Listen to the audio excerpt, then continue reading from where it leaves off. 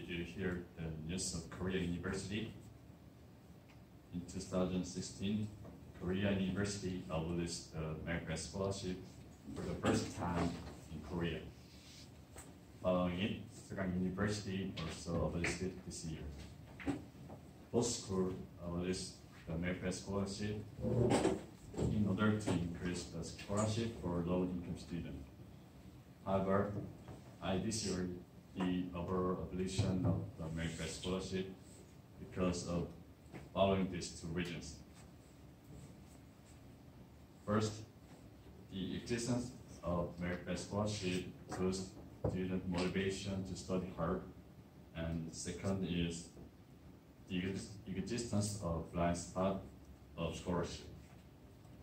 Let's begin by first examining the motivational aspect of merit-based scholarship. Merit-based scholarship provides students with the motivation to study hard. According to the three days merit-based scholarship and student effort, Hernandez Julanle found out that being at risk of gaining or losing merit-based scholarship led to higher grade. And statistically, GPA increased 0.101. However, need-based scholarship cannot be derived by this result. According to Audrey and Woos treatises, the appearance of national scholarship didn't make a statistically significant difference. The primary object of university is higher education, so the merit-based scholarship could fulfill. Until now, we checked the advantage of merit-based scholarship on motivative aspect. Next, we'll examine the aspect of equity. Merit-based scholarship gives opportunity to students placed in a blind spot. In the process of income calculation, there's always a blind spot. Therefore, someone who really needs but uh, cannot get any need-based scholarship always exists. In Korea, there is need-based national scholarship, but it cannot cover the structural spot for certain occupations, such as independent businessmen, have a chance to consider their income.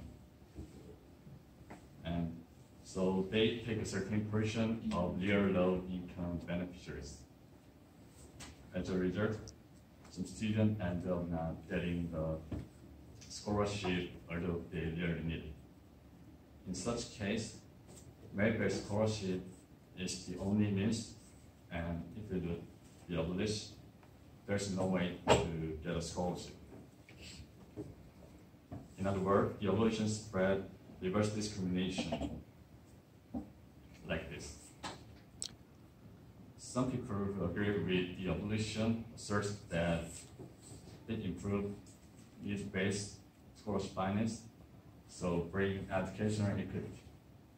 However, the abolition caused this reverse discrimination and, and uh, violating equity. So far, we checked the equity aspect of merit-based scholarship, which organized the argument. In conclusion, merit-based scholarship has a positive effect. It motivates students to study hard and it also gives a chance to students in blind spot. Surely, need-based scholarship is needed, but it alone isn't enough. The relationship between need-based scholarship and merit-based scholarship can be compared to that of the crocodile and the crocodile bird. Those can go in better when they coexist. Thank you.